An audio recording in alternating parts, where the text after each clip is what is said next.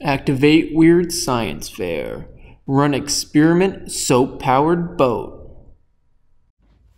Hello, everyone. My name is Andrew, and I'm one of the educators here at Clay Pit Pond State Park Preserve. In today's Weird Science Fair experiment, we're going to make a boat that's powered by soap. Before we get started, you're going to need to gather a few things. First, some cardstock or construction paper, scissors, a pencil, liquid soap, and a large container with about two to three inches of water in the bottom. Once you get that, we're ready to go. So let's get started.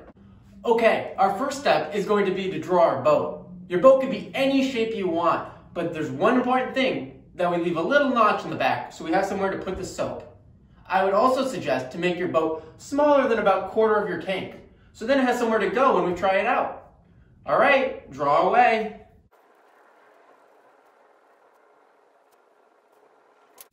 All right, I'm all done drawing, and I hope you guys are too. Now it's time to cut it out. If you need help with scissors, ask a responsible adult to help you guys out.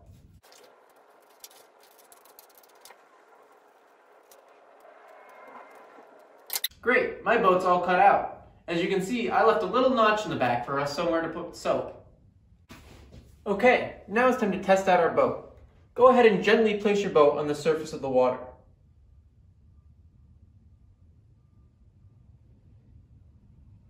Once your boat is sitting in the water, open up your soap and put a small drop of soap right behind your boat. Whoa, look at it go!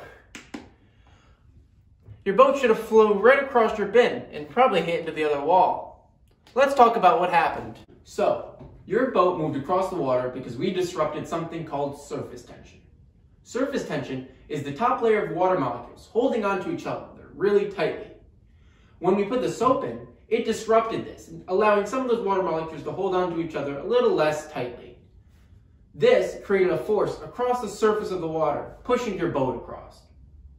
Now, have you heard of surface tension before? You might have if you've ever seen an insect standing on top of water. That's right, I said standing. Unlike you or me or other large animals who float, these insects can spread their weight across this strong surface tension and stand on top of it. That's pretty neat, right? Well, if you want to keep playing around with your boat, there's a few different things you can try, including different temperatures of water and different types of soap. See if these change how fast your boat goes across the water. Does anything else change? Let us know.